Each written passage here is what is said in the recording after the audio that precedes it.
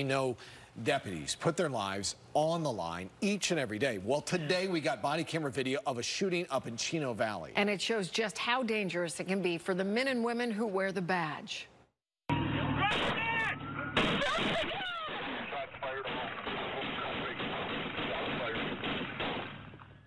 This shooting happened last Friday. Deputies responded to a domestic violence call. An armed man allegedly attacked his wife. The 70-year-old then shot at deputies who returned fire. The man was taken to a Valley hospital where he died several days later. No deputies were hurt in this.